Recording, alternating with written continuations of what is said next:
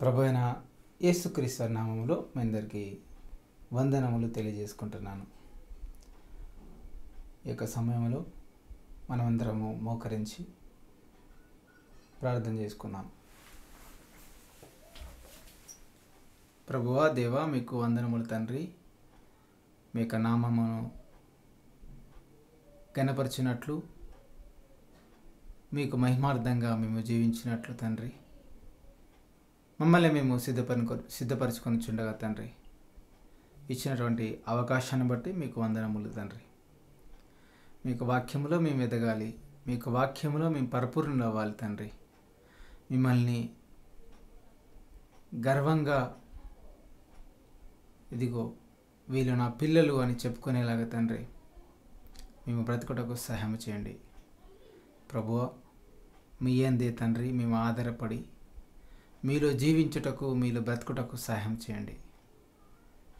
మీకు ఇష్టం లేని ఏ పని కూడా చేయకుండా సహాయం చేయండి. మీరే మమ్మల్ని నడిపించండి. మమ్మల్ని బ్రతకనియండి తండ్రి. మీ వాక్యంలో మమ్మల్ని ఎదుగ చేయండి తండ్రి. క్రీస్తు నామంలో అడిగి వేడుకొని చిరాం తండ్రి. ఆమెన్.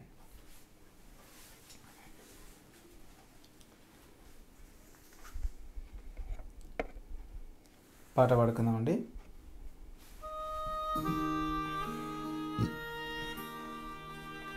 పాత నిబంధనలో ఇస్రాయేలు దేవుడు చూరెను దశమ భాగం. కృత నిబంధనలు క్రైస్తవులందరూ చేయవలసినది సజీవయాగం ఇది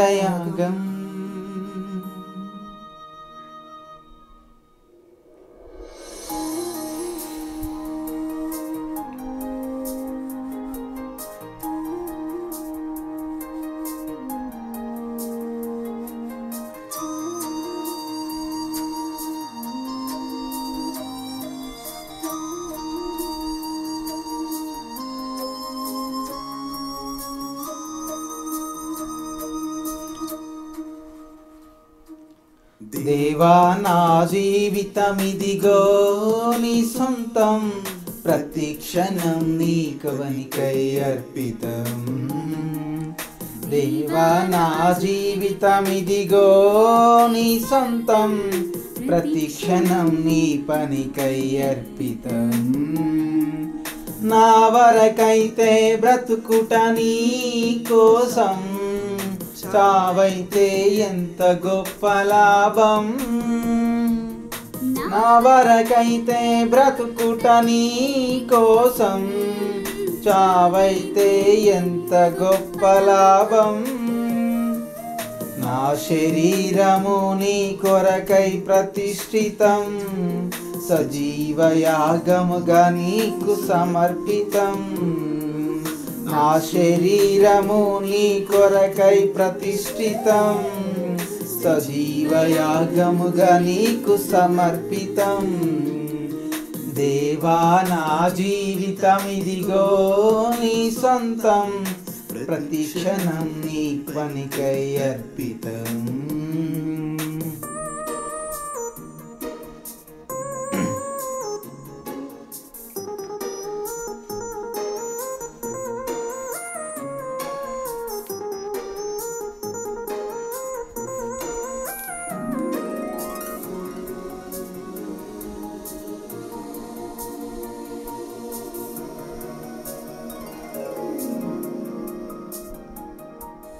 నా కరములు నా పదములు నీ పనిలో అరిగి నలిగిపోవాలీలలో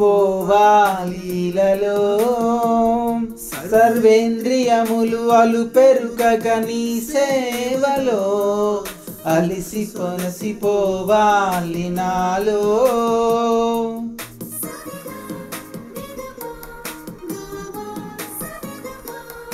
నా కరములు నా పదములు నీ పనిలో. అరిగి నలగిపోవాలీలలో సర్వేంద్రియములు అలు పెరుగక నీ సేవలో. అలసి సొలసిపోవాలి నాలో నా శరీరము నీ కొరకై ప్రతిష్ఠితం. సజీవయాగముగా నీకు సమర్పితం. నా శరీరము నీ కొరకై సముష్టితం. సజీవయాగముగా నీకు సమర్పితం దేవా నా జీవితం ఇదిగో ప్రతి క్షణం నీ పనికై అర్పితం. నా జీవితం ఇదిగో నీ సొంతం ప్రతి క్షణం నీ పనికై అర్పితం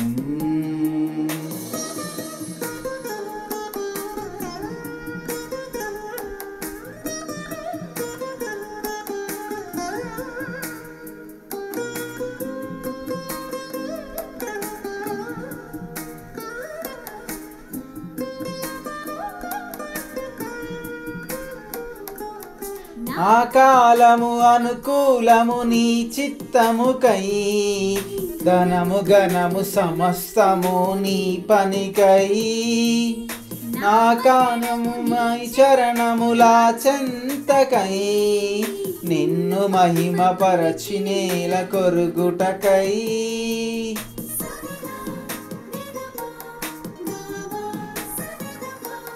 నా కాలము అనుకూలము నీ చిత్తముకై ధనము గణము సమస్తము నీ పనికై.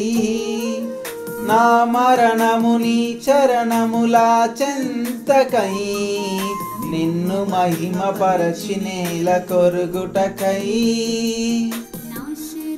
రము నీ కొరకై ప్రతిష్ఠితం. సజీవయాగముగా నీకు సమర్పితం. నా శరీరము నీ కొరకై ప్రతిష్ఠితం. సజీవయాగముగా నీకు సమర్పితం. దేవా నా జీవితమిదిగో నీ సొంతం. ప్రతిక్షణం నీ పనికై అర్పితం. దేవా నా జీవితం ఇదిగో నీ సొంతం ప్రతి క్షణం నీ పనికై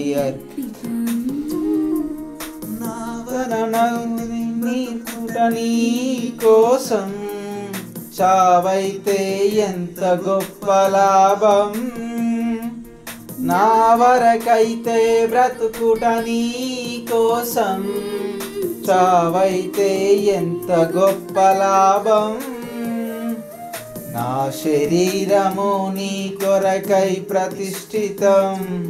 సజీవయాగముగా నీకు సమర్పితం. నా శరీరము నీ కొరకై ప్రతిష్ఠితం. సజీవయాగముగా నీకు సమర్పితం. దేవా నా జీవితం ఇదిగో నీ సొంతం. ప్రతి క్షణం నీ పనికై అర్పితం.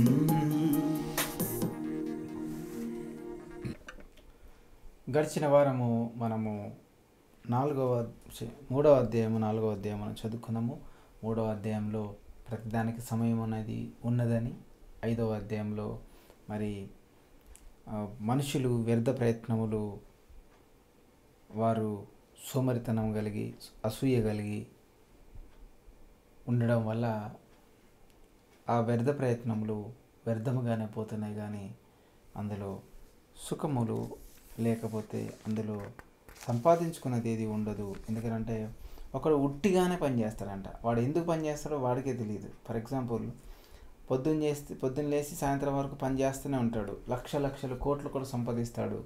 కానీ పిల్లలు ఉండరు భార్య ఉండదు అన్నదమ్ములు ఉండరు. కానీ వాడి యొక్క కళ్ళు మాత్రము తన యొక్క ఐశ్వర్యము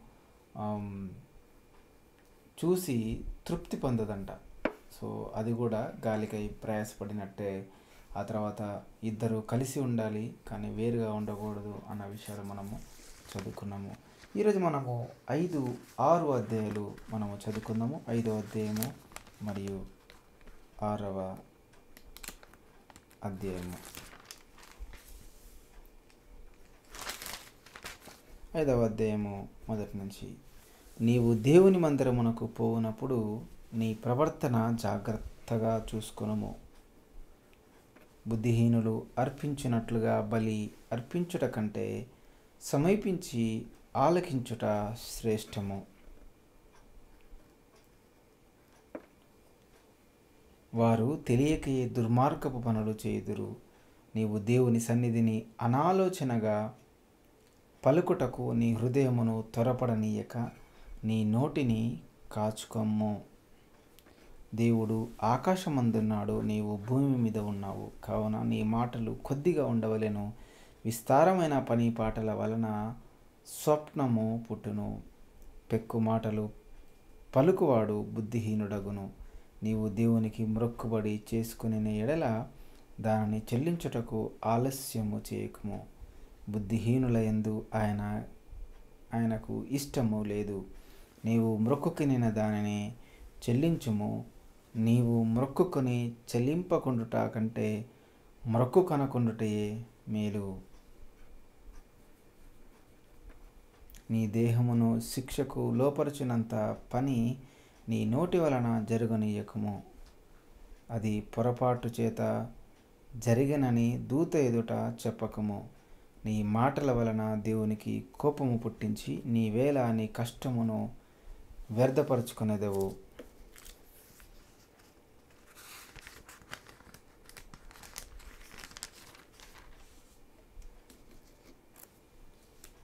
అధికమైన స్వప్నములను మాటలను నిష్ప్రయోజనములు నీ మట్టుకు నీవు దేవుని యందు భయభక్తులు కలిగి ఉండుము.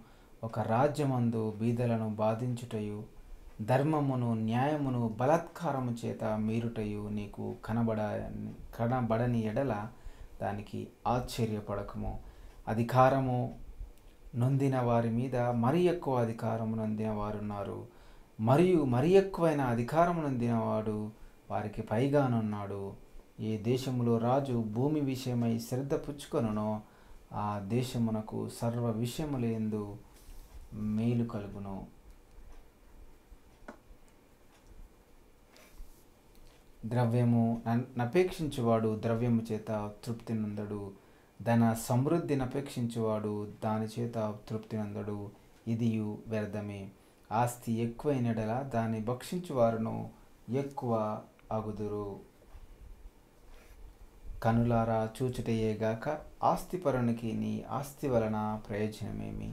కష్టజీవులు కొద్దిగా తినను ఎక్కువగా తినినను సుఖనిద్ర నందుదురు. అయితే ఐశ్వర్యవంతులకు తమ ధన సమృద్ధి చేత నిద్ర పట్టదు.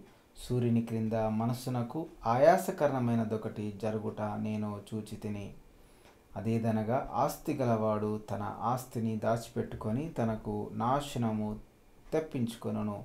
అయితే ఆ ఆస్తి దురదృష్టము వలన నశించిపోవును. అతడు పుత్రులగు పుత్రులు గలవాడైనను అతని చేతిలో ఏమీ లేకపోవును. వాడు ఏ ప్రకారముగా తల్లి గర్భము నుండి వచ్చెనో ఆ ప్రకారముగా గానే తాను వచ్చినట్లే దిగంబరిగానే మరలా పోవును. తాను ప్రయాసపడి చేసుకుని దినములలో ఏదైనాను చేత పట్టుకొని పోడు. అతడు వచ్చిన ప్రకారముగానే మరలా పోవును. గాలికి ప్రయాసపడి సంపాదించిన దాని వలన వానికి లాభమేమి? ఇదియు మనస్సునకు ఆయాసకరణమైనదే. తన దినములన్నీయు అతడు చీకటిలో భోజనము చేయును. అతనికి వ్యాకులమును రోగమును అసహ్యమును కలుగును. మరియు కోరదగినదిగాను చూడ ముచ్చటి అయినదిగాను నాకు కనబడినది ఏదనగా దేవుడు తనకు నియమించిన ఆయుష్కాల దినములన్నీ అతడు ఒకడు అన్నపానములు పుచ్చుకొనుచు తన కష్టార్జితమంతటి వలన క్షేమముగా బ్రతికియుండుటయే ఇది ఏ వానికి భాగ్యము.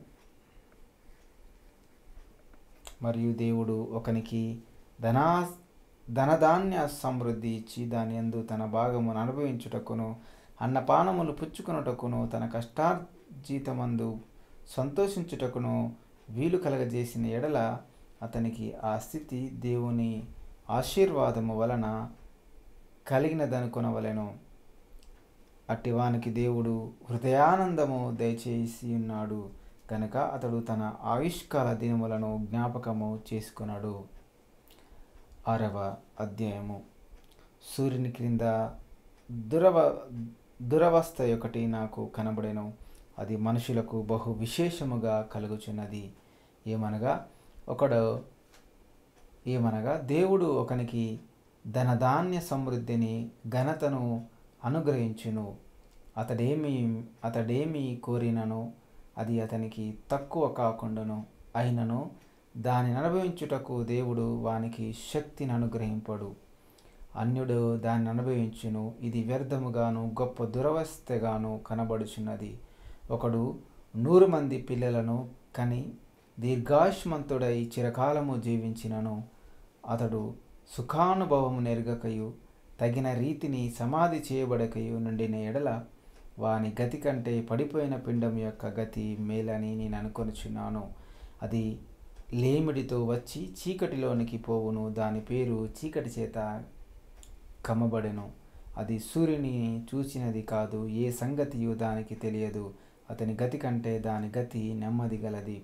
అటివాడు రెండు వేల సంవత్సరములు బ్రతికియు.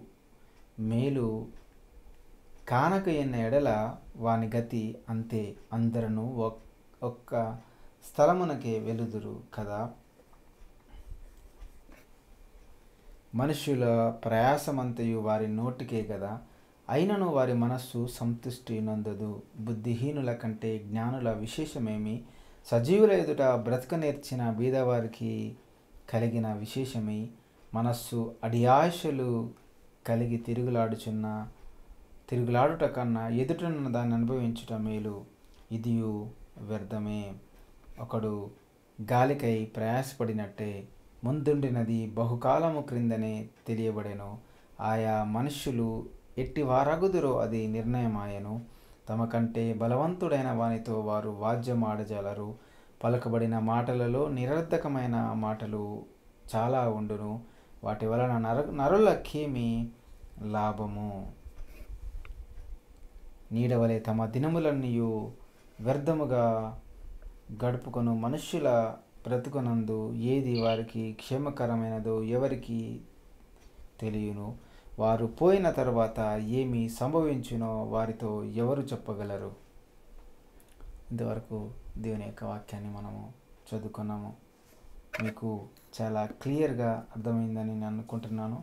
ఐదవ అధ్యాయంలో మనము దేవుని పరిచర్యలో శ్రద్ధగా అంటే తన ప్రవర్తనను జాగ్రత్తగా చూసుకోవాలి తన యొక్క నోటిని కాచుకోవాలి తర్వాత ధనాన్ని ఎంత సంపాదించినా కూడా తృప్తి లేని జీవితము వ్యర్థము అని మనము చదువుకున్నాము. ఆరో అధ్యాయంలో ప్రయోజనరహితమైనటువంటి సంపద ఎందుకు? మేలు అనుభవించకుండా దీర్ఘాయువును కలిగి ఉండడం ఏం లాభము? మరి ఇంకా పలకబడినటువంటి మాటలు నిరర్ధకమైనటువంటి ఎక్కువగా మాట్లాడితే అందులో కొన్ని నిరర్ధకమైనటువంటి మాటలు ఉంటాయి అలాగే నీడవలే తమ యొక్క జీవితాలను మరి గడుపుకుంటారు అన్న సంగతులను మనము చదువుకున్నాము. తల వంచండి. ప్రార్థన చేసుకుందాం. పరలోకమందునటువంటి దేవ మీకు వందనములు తండ్రి. మీరు లేకుండా మా జీవితాలలో ఏది ఉన్నా కూడా అది వ్యర్థమే అవుతుంది తండ్రి. మరి అనుభవ జ్ఞాన జ్ఞాన జ్ఞానుడైనటువంటి అభవ అనుభవజ్ఞుడైనటువంటి సొలమోన్ గారి చేత మరి మీరు రాయించినటువంటి యొక్క విషయాలను బట్టి మీకు వందనములు స్తోత్రములు ప్రభువ. మేము తండ్రి ఇంకా అనేకమైనటువంటి మీ యొక్క విషయాలను మేము నేర్చుకోవాలి. మాతో మాట్లాడండి మమ్మల్ని సరిచేయండి మమ్మకు బుద్ధి కలగజేయండి. మమ్మల్ని తండ్రి మీరు ఆత్మీయంగా బలపరచమని మీ యొక్క నామాన్ని చదువుకుంటున్న ప్రతి వారికి కూడా తండ్రి మీరు కావాల్సిన విజ్ఞానం దయచేయమని క్రీస్తునామంలో అడిగి పెట్టుకుంటున్నాం తండ్రి ఆమెన్. అందరికీ వందనాలు.